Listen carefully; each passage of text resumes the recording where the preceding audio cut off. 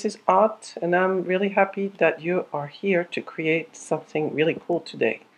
Today we will be making painted paper, which is basically an abstract painting. And there are some illustrators and artists that use painted paper in their creations, which is what we're going to be doing. So the first step is to make a few different papers.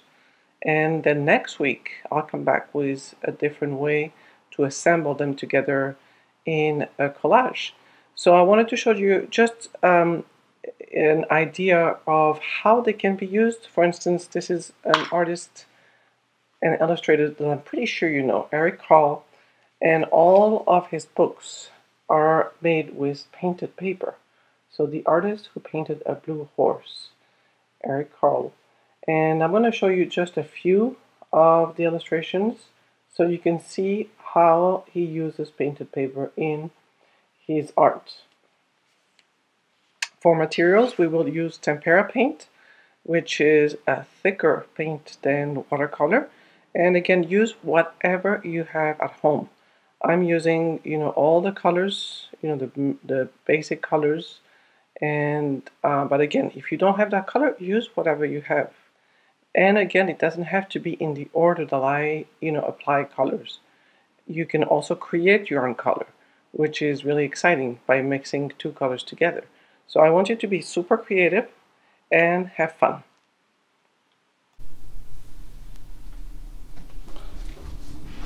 So here is the book of uh, the artist who painted the blue horse and I just want us to look at a few illustrations. So for instance when Eric Carle paints a horse well, then again, you know, as an artist, you can paint an animal any color. It doesn't have to be realistic. But you can see all the different brush strokes and the different hues and values and different colors. I see a little bit of green and different shades of blue. So, and again here, here is the texture.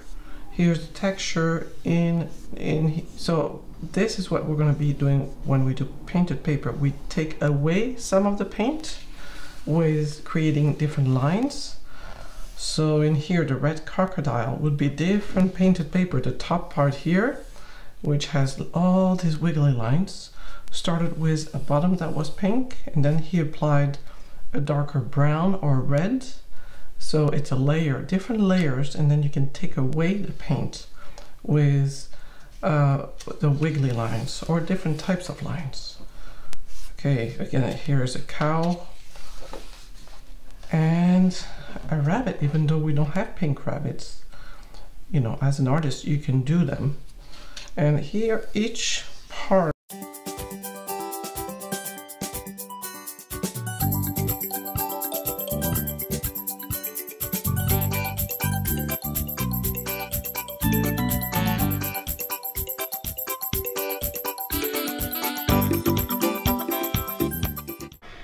boys and girls, I'm ready to start my first uh, painted paper. We're going to be doing a few.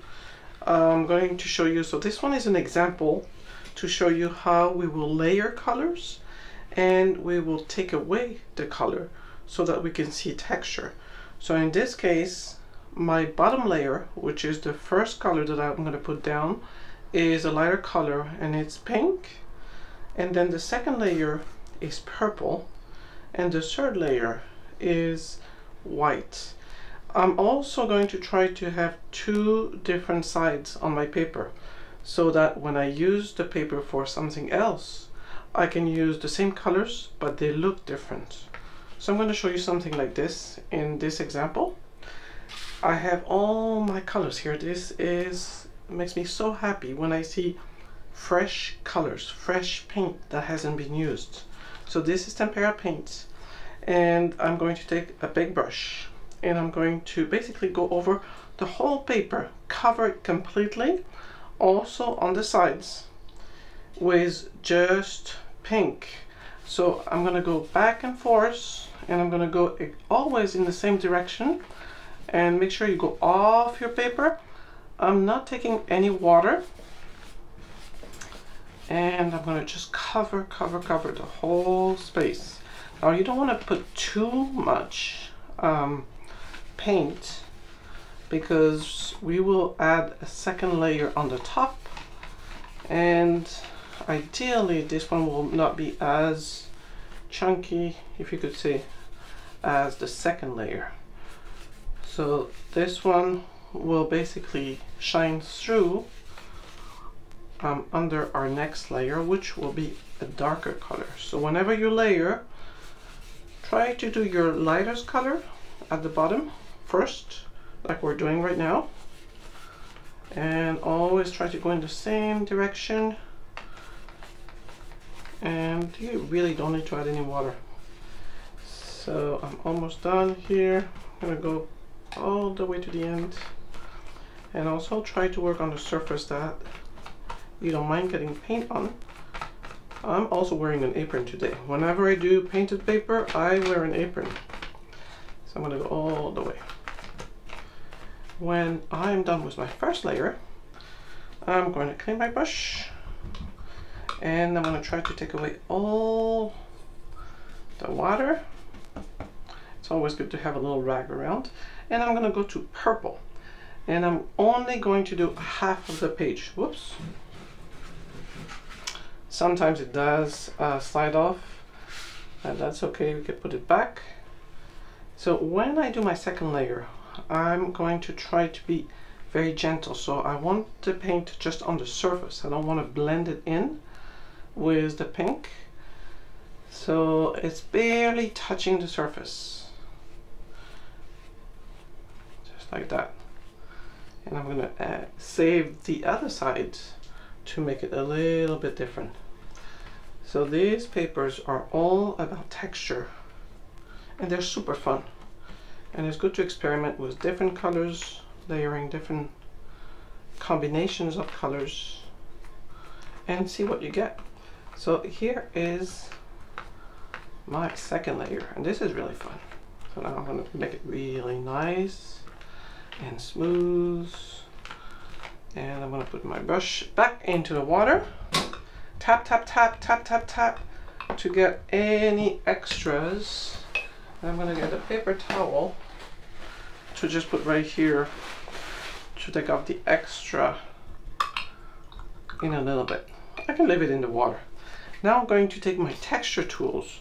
So the first one is a fork. This is a plastic fork that I find at home. And then you're to scratch lightly. You do not want to break the paper. And now this, you have to do it while the paint is still wet. Really important. So they could be really pretty waves. So you decide what you do. You can do across if you like. just have fun. And then on the other side here, I'm going to take, this is a toilet paper roll, and I'm going to dip it into, first into purple, because I want to have a little bit of purple.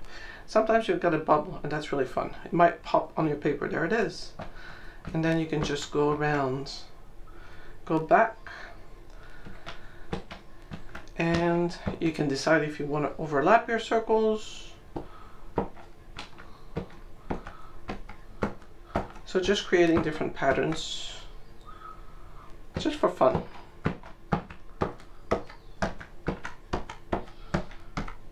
And then maybe I want to have a different color with a different size. So I'm going to go, actually, or maybe I'll use the same one. I'm going to use the, the, the other side. And this time I'm going to go with white on to my purple first.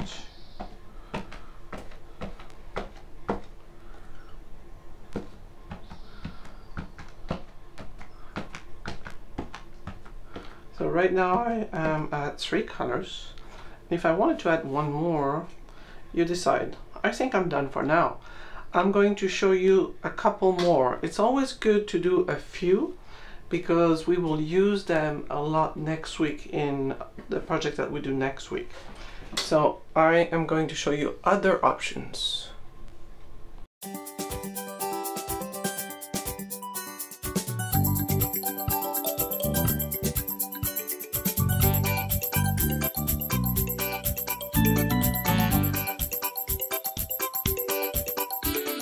So for my next example, I did clean my water. I have uh, fresh water and a fresh piece of paper.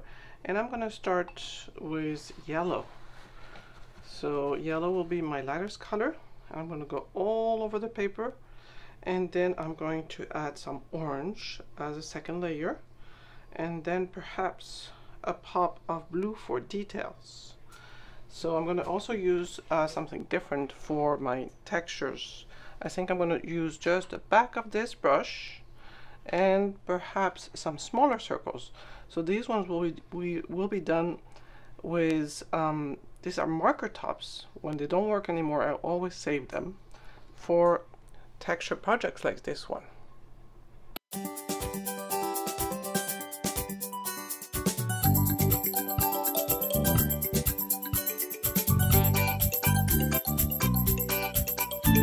So for our next example, I'm going to use a light blue and a dark blue. So light blue will be my first layer and then a dark blue and then I'll decide on a pop. So this one is going to be more like an ocean themed if we do something to do with the ocean next week. So I'm want to make sure I have some blues. So again, I'm going to layer the first one light blue and then continue whoops with a darker blue on top. I'm going to work on my last uh, texture paper and again I'm going to look at the colors that I have here and I have them laid out like the colors on the color wheel. So here are my warm colors and then here are all my cool colors. So actually this one should be here. So it goes from yellow to orange to red, transitioning to pinks and purples, blues, turquoise, and green. So when you do painted paper, think about using colors that are next to each other. So in the first one that I showed you, I used pink and purple. The second one, I used um, yellow and orange. Third one, I used turquoise and dark blue. So the one I'm going to do right now is going to be like a blue, green, um, purple. So I am looking for a lighter green as my first layer. So I'm going to actually mix a special color right on my paper. And this is the most fun, is to make your colors actually. So I'm going to take uh, some white and just go straight on the paper. You might not see it, but You'll see it in a little bit. So I'm going to add white all over the paper because I want a tint. A tint is a lighter color. So you add white and you get a tint. So I'm, I'm trying to achieve a really pretty light green. And you don't have to mix in a container, just mix on the paper. So you have to do it fast so that your white is still, you know, not dry. And of course I can go back and add a little bit on the paper. So you have, and the cool thing about that is that you'll have different shades of green throughout your paper. It's not one exactly the same. And that's what I like about this technique. It's basically called double loading. If you have two shades of colors on your brush, mix right on your paper. A little bit more at the top right here. we don't want it too light either, so it has to have a tint. It's not too light. Oh, that looks really pretty kind of a minty color. Think about what you would call your colors whenever you make colors. Okay. So now I'm gonna go and continue with my blue layer. And again, it's your choice to either do the whole page, full page, or maybe you do want to keep a little bit of that mint color without having a layer. So I'm going to do my light blue, which is turquoise on top. And actually you could take a little bit of dark blue and light blue. which is what I'm going to experiment in just a minute. So this is all about experimentation.